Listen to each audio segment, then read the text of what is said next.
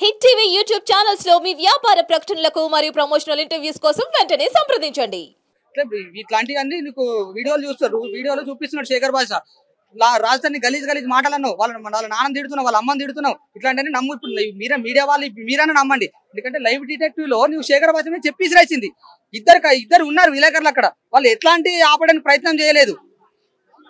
ఇట్లాంటి వాటిని ఎంకరేజ్ చేయదండి. ఇంట్లో ఒక మహిళ అన్నంత మాత్రాన ఇట్లాంటి చెప్పులు ఇసిరేసుడు ఎంతవరకు సమానేసం చెప్పండి. ఆమెకు న్యాయం జరిగింది. ఎట్లాంటి న్యాయం జరిగి ఎట్లాంటి అన్యాయం జరిగింది? ఆమెకు న్యాయం- అన్యాయం జరిగింది కావచ్చు. అన్యాయం జరిగితే నువ్వు కోర్టును ఆశ్రయించు. నీకు ఎట్లాంటి ప్రూఫ్స్ ఉన్నాయో నీ కోర్టును ఆశ్రయించు. నీకు నీ జస్టిస్ అనేది జరుగుతుంది కోర్టులు ఉన్నాయి ప్రతి ఒక్కటి నీకు జస్టిస్ జరుగుతుంది సో ఇవన్నీ వదిలేసి నువ్వు మీడియా ముందుకు వచ్చి నువ్వు ఒక హైప్ కావాలని రాజధాని భయ్య మీద ఎలిగేషన్ పెట్టుడు. నీకు ఎంతవరకు సమానేసం చెప్పి శ్రేషుడు నువ్వు కరెక్టేనా నీకు కరెక్ట్ కరెక్ట్ కరెక్ట్ పద్ధతేనా ఇది?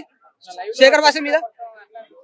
చెప్పుతో కూడా ఎట్లాంటి పద్ధతి ఉంది నేను చాలా ఖండిస్తున్నా అండి. ఒక ఫ్యాన్గా మేము కంపల్సరీ రాజస్థాన్ భయ్య రాజస్థాన్ భయ్య ఫ్యాన్గా మేము అందరం రా- మేము తిరగబడ పోతున్నాం లా- రాజస్థాన్ భయ్య వాళ్ళ ఫ్యామిలీ తిరగబడ్డారు నిన్న కేసు పెట్టిలు ఇక్కడ మన ప- మాదాపూర్ పిఎస్లో మేము ఒక థర్టీ మెంబర్స్ మేము రాజస్థాన్ ఫ్యాన్స్ ఒక థర్టీ మెంబర్స్ ఉన్నాం. మేము కూడా అదే మాదాపూర్ పిఎస్లో లావణ్య మీద లావణ్యకు మీద కేసు పెట్టబోతున్నాం తిరిగి. ఎందుకంటే ఇట్లాంటి మంచి హీరోకు ఇట్లాంటి ఎలిగేషన్ పెట్టి మంచి కెరీర్ లేకుండా చేద్దామని చూస్తుంది.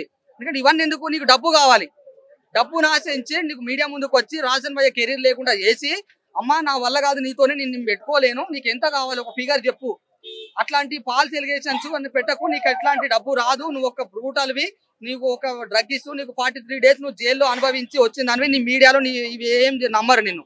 అర్థమైందా? ఇట్లాంటి వాటిని మహిళా సంఘాలు ఇట్లాంటి వాటిని మహిళా సంఘాలు ఎంకరేజ్ చేయకండి. దయచేసి అమ్మ మహిళా సంఘాలు ఇట్లాంటివి ఎంకరేజ్ చేయకండి. ఇట్లాంటి వాళ్ళని ఎంకరేజ్ చేయకండి. ఒక మహిళ అయినంత మాత్రాన ఆమె గురించి ఆమె ఆమె గతం గురించి తెలుసుకోకుండా మీ ఇట్లాంటివన్నీ ఎంకరేజ్ చేయొద్దు. ఒక మంచి హీరో మీద పాలసీ ఎలిగేషన్స్ అనేది లావణ్య చేస్తుంది. అలాంటివి ఏం నమ్మొద్దు.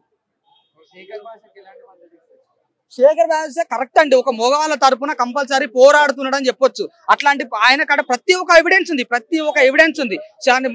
మన మస్తాన్ సాయి అనే ఆయనతోని లిప్ లాగులు ఆయన తోడ మీద కూర్చోబెట్టుకొని నీకు రాజన్ భయ్యతో మ్యారేజ్ అయిందని చెప్తున్నావు. ఎప్పుడు? టూ థౌసండ్ ఫోర్టీన్లో. టూ థౌసండ్ ఫోర్టీన్లో నువ్వు మ్యారేజ్ అయితే నువ్వు శేఖర్ మస్తాన్ సాయితో నేను తోడ మీద కూర్చొని నీకు ఫ్రెండ్ అయినంత మాత్రం తోడ మీద కూర్చుంటావా? ఒక మహిళ.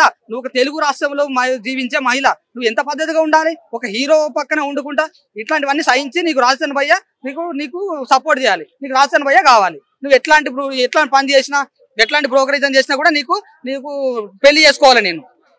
మగవాళ్ళు ఇట్లాంటి యాక్సిపెట్ చేస్తారా?